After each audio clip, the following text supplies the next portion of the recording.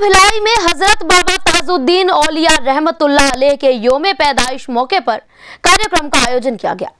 यहाँ हज़रत बाबा ताजुद्दीन औलिया का जन्मदिन केक काटकर मनाया गया। सबसे पहले बाबा ताज के आस्थाने पर लोबान और चादर पेश की गई। उसके बाद कार्यक्रम में मौजूद सभी के लिए खैरियत की दुआएँ भी मांगी गई। दुआएँ मांगने के बाद बाबा ताज के आस्थाने पर चादर चढ़ाई गई। इसके बाद केक काटकर बाबा ताज का जन्मदिन पूरी शान और शौकत के साथ मनाया गया।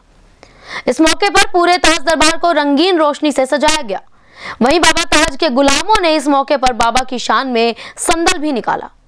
इस मौके पर बाबा ताज के जन्मदिन को मनाने के लिए हज़ारों की संख्या में लोगों ने अपनी उपस्थिति दर्ज कराई और बाबा ताज के जन्मदिन का केक काटकर बाबा ताज से अपने और अपने परिवार की खैरियत की दुआएँ भी मांगी।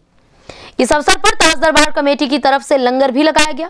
ताज दरबार कमेटी की हज्जन बद्रुन निशा ताजी एवं गद्दी नशीन मोहम्मद सादिक ताजी की निगरानी में यह कार्यक्रम आयोजित किया गया। इस कार्यक्रम को सफल बनाने में जिला पुलिस प्रशासन के जवानों का भी भरपूर सहयोग मिला। इस मौके पर कई गणमान्य लोगों ने भी भाग लिया। बताते चले कि छत्तीसगढ़ के दुर्ग भिलाई में हज़रत बाबा ताजुद्दीन ओलिया रहमतुल्ला अलैह के जन्मदिन के मौके पर कार्यक्रम का आयोजन किया गया। यहाँ हज़रत बाबा ताजुद्दीन ओलिया का जन्मदिन केक काट कर मनाया गया। दुर्ग भिलाई से राजेंद्र गाड़े व सुनील सोनी की रिपोर्ट। ऐसे ही लेटेस्ट खबरें पाने के लिए बेल आइकन को क्लिक कर हमारे चैनल को लाइक शेयर एंड सब्सक्राइब करें।